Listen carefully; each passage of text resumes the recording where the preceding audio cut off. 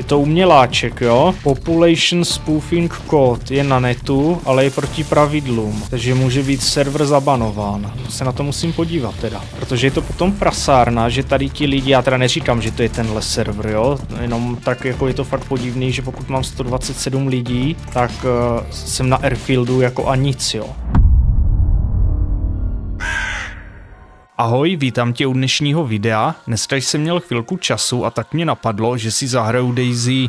Měl jsem chuť na rychlé PvP a teď jsem si zapnul DZSA Launcher a seřadil jsem si servery dle populace, to znamená od nejvyššího počtu hráčů k nejmenšímu, přesně tak, jako to dělá většina lidí. Zaujal mě konkrétně tento server, ovšem prakticky i hned, když jsem se spavnul v Kami, tak jsem poznal, že něco není v pořádku.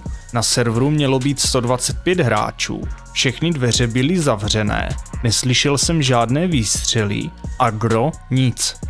Šel jsem na policajtku, která byla nevybraná a všechny dveře pozavírané.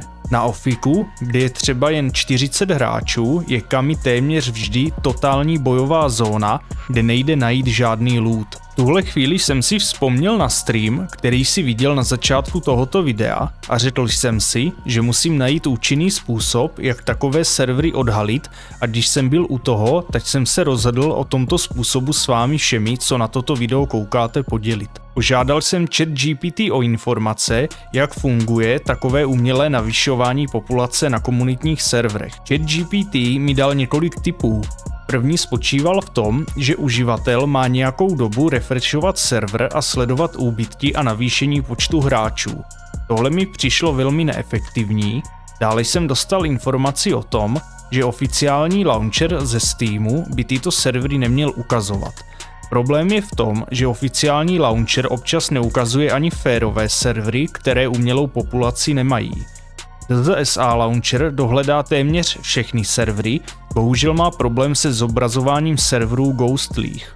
Jako poslední možnost mi dal web Battlemetrics. Battlemetrics je komplexní systém pro sledování a analýzu herních serverů.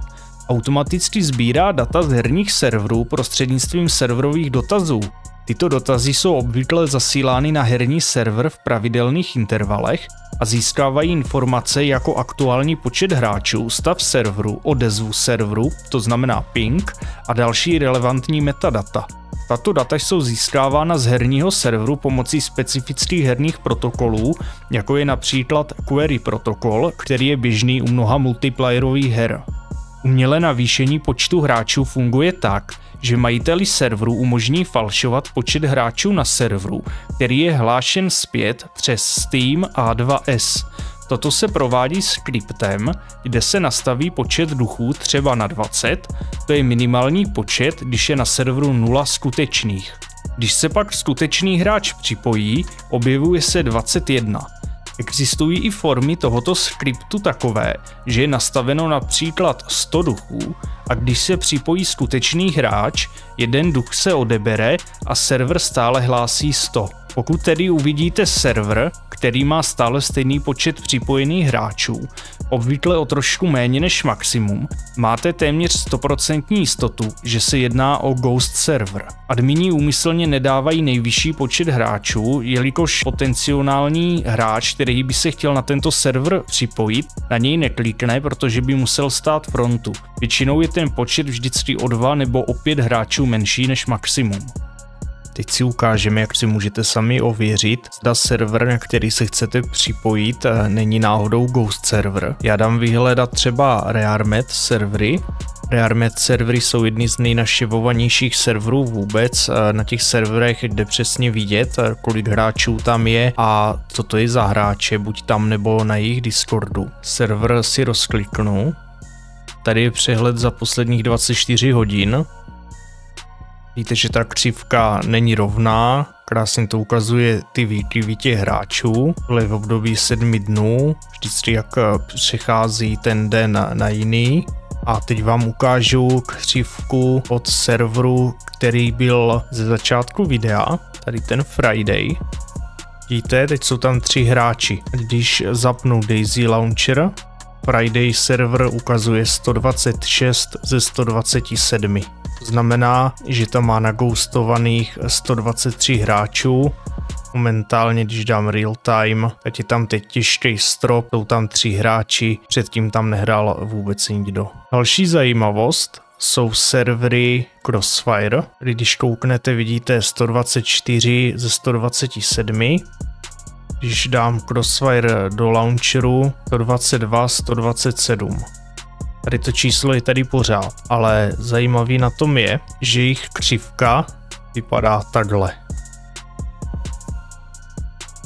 Celou dobu 124. Minimum, maximum 124, 124. V průběhu 7 dní neustále 124, 124, neustále 124 hráčů. Tyhle výkyvy eh, to může znamenat server off eh, nebo něco podobného, nějaký problémy se serverem, ale takhle nevypadá křivka zdravého serveru. Když se podíváme na ty další servery, které jsou uh, totálně ghostlé, které jsem ukazoval před chvilkou, mezi nimi byl server Jumparade, PvP moc, zase v launcheru ukazuje 122, 127, když si ho dáme hledat eh, do Battlemetrics, 0. To je dnešní den, 24 hodin posledních, 7 dnů, 30 dnů. Žádný pohyb na serveru, na tom serveru víceméně nikdo nehraje. Ale přesto ukazuje 122 lidí. Tím nikdo nehraje, nemyslím absolutní nulu. Battlemetrics odesílá dotazy na server z pravidla jedenkrát za hodinu, je tedy možné, že v průběhu dne se na serveru nějací hráči objeví, ovšem Battlemetrics si nezaznamená, jelikož nejsou přítomní na serveru v době, kdy je dotaz pokládán. Battlemetrics je potřeba brát s určitou rezervou. Také se může mýlit, ovšem ve většině případů data zobrazuje naprosto správně a je výborným pomocníkem k odhalení fake pop serverů. Doufám, že vám tohle video pomohlo, že se nespálíte tak jako já a budete pečlivější při výběru eh, vašeho serveru, kde budete hrát. A komu se video líbilo, nezapomeňte like a kdo ještě neodebíráte, budu rád moc za odběr. Blížím se hranici tisíci odběratelů, takže každý odběr se teď počítá. A to je z dnešního videa všechno, mějte se a čau.